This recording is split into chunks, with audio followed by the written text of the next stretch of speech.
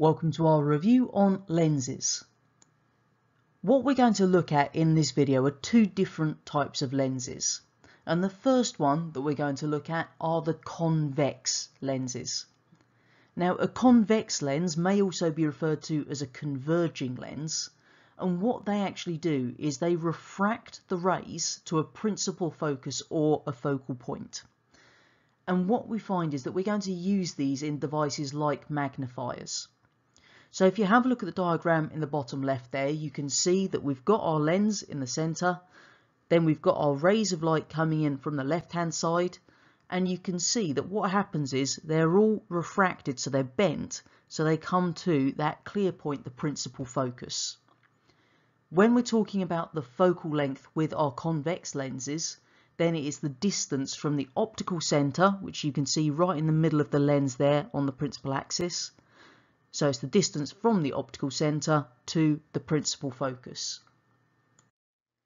The second type of lens that we will encounter is the concave or diverging lens. And their whole purpose is to spread light out. Again, I've given you a diagram in the bottom left there showing what's happening. So as our light comes in, as it passes through the lens, it's spreading it further out. So it's going to be, then be spread to a wider range on the other side. We do still have a focal length, but this time it's slightly different.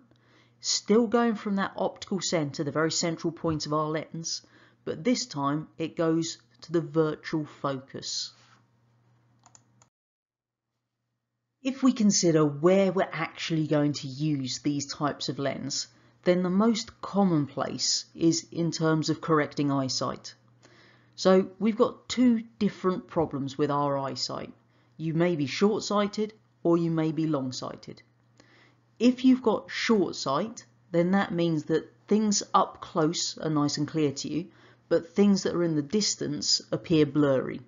And the reason for that is that the rays of light are actually trying to focus in front of the retina, so kind of just randomly in the middle of your eyeball.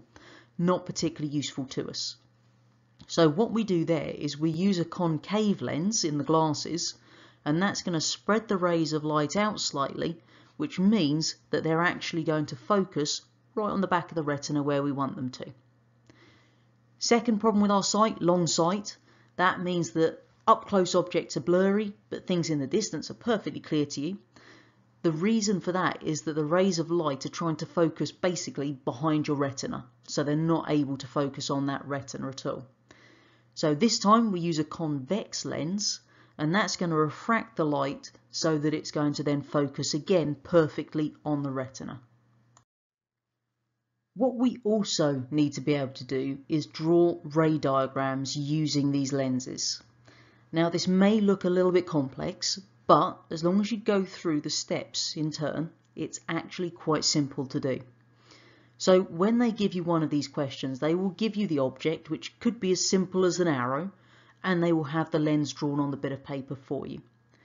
So the first thing you're going to do is draw the ray, so the straight line using your ruler and pencil, from the top of the object, nice horizontal line that's going to go straight in to the lens there. So you can see that in the top diagram there.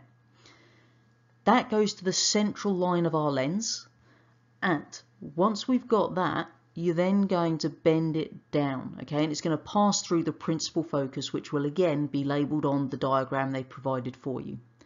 So just extend that line nicely further down.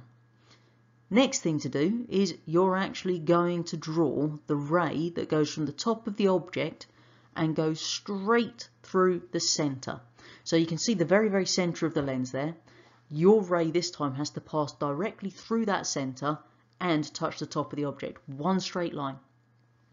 You will then have one point where those two rays have met on the right hand side and that tells you where the top of your image is going to be. So then all you need to do is just draw the exact same arrow on the other side. Hopefully what you can see there is how you can go through it and at the bottom that's the setup of the kind of question they could give you. The object, the lens and the principal focus labelled, you just need to add those rays. The last thing we need to consider is some of these other uses of lenses. We've looked at obviously correcting eyesight, but we use the convex and concave lenses for other uses as well. So you need to know the use and also the type of image it generates. So if we consider our convex lenses first of all, then we can use them in a magnifying glass as we mentioned at the start. And what we end up with there is a virtual image that's magnified but upright. If we have a convex lens in a camera, then it's a real image that's going to be diminished, so it's smaller, and inverted, so upside down. If we have our convex lens in a projector, then it's a real image that's magnified, so it's made bigger, but it's still inverted. Next type of lens is our concave lens, which we've got two examples for, spy holes and the rear windows on coaches. But they both generate the same type of image. It's a virtual image that's diminished, so it's smaller, but it's upright. Hopefully at the end of this video you can now use ray diagrams to show the similarities and differences between convex and concave lenses and you can describe what we use those different types of lenses for.